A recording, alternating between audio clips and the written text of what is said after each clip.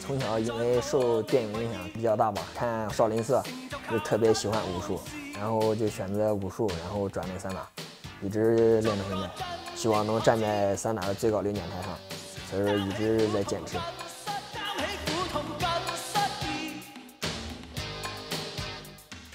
接下来为大家请出的是红方选手，来自山东的李朝阳。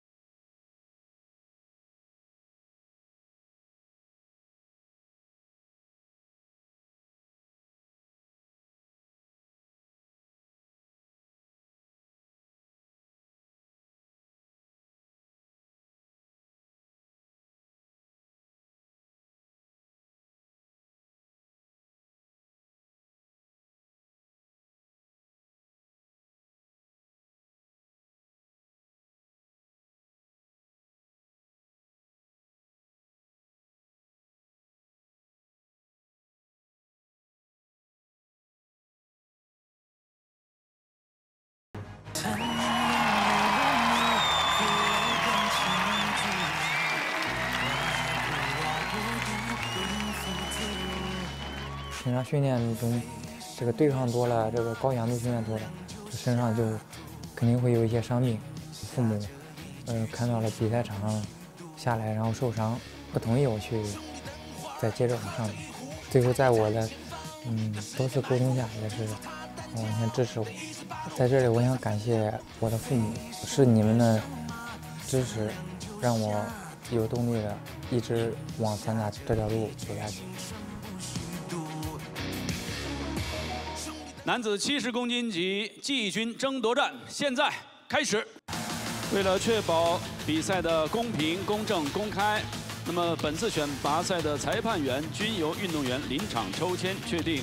有请本场场上裁判鲍小弟，国家级。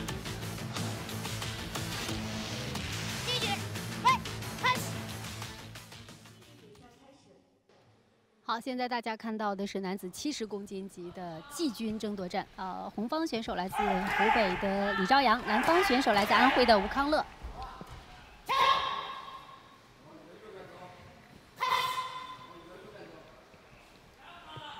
这个本本届亚运会国家武术散打项目的选拔赛呢？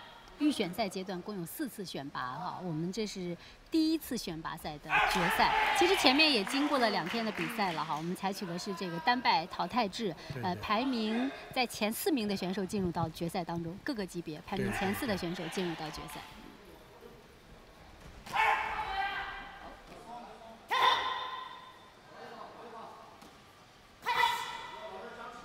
呃，这两位选手，呃，翟老师对他们的印象如何？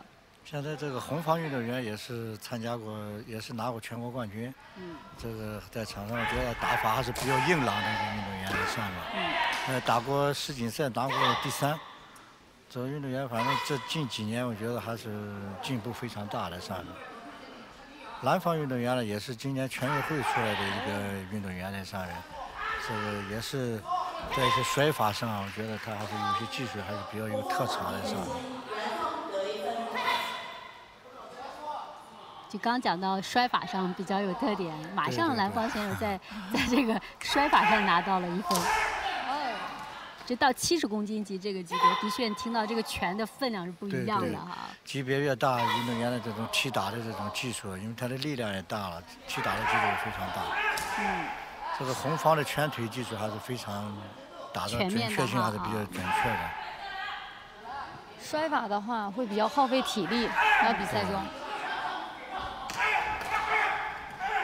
所以看到决赛哈，我觉得也消除了呃很多拳迷的一个误解。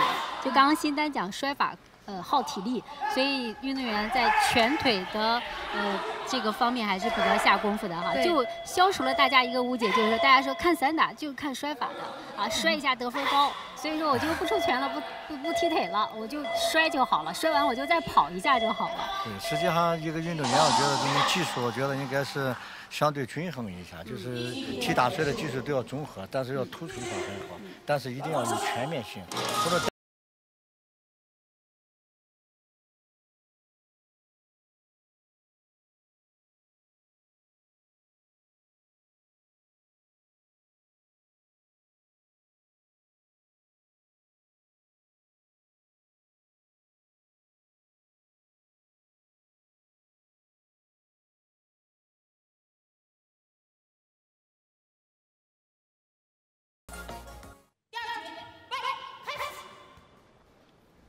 好，这是第二局的比赛，我们是三局两胜制啊。每局结束之后，会根据边裁判员的结果来判定每局的胜负。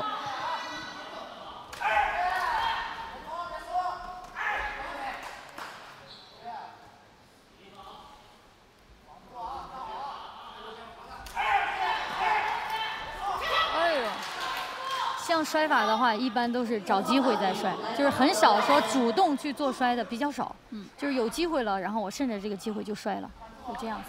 这就是一个一个巧摔吧。这个散打里面讲究快摔，是总显示中国武术的一种巧的劲儿，四两拨千斤的这种东西在上面，相对来说体现的比较好一些的上。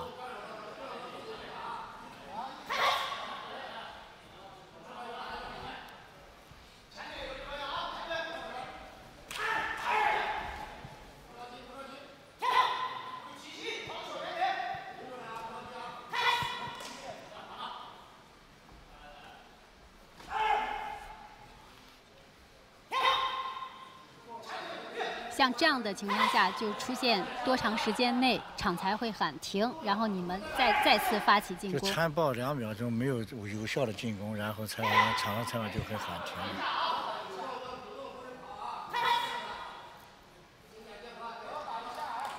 如果呃总是有一方主动去搂抱的话，就消极搂抱了，所以裁判就要发号。先提示一次，嗯，两次就判罚一次劝告，就是你就失一分的这样，对方得一分。Thank you.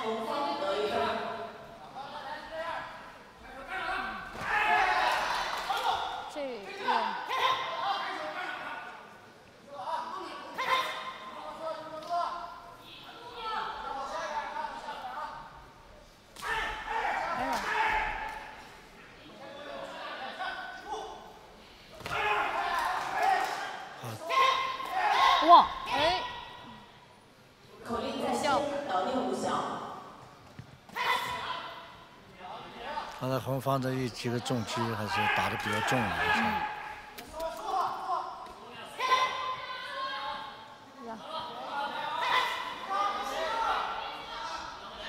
这两位选手就像刚刚翟老师呃分析的，就特点比较清晰。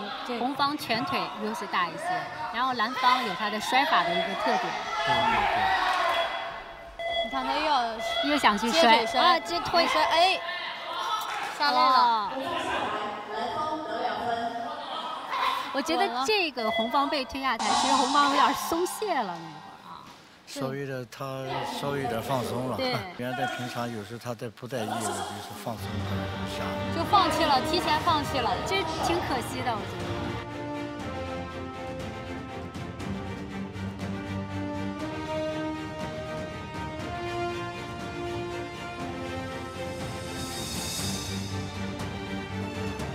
比赛结果，蓝方胜。祝贺吴康乐，感谢李朝阳。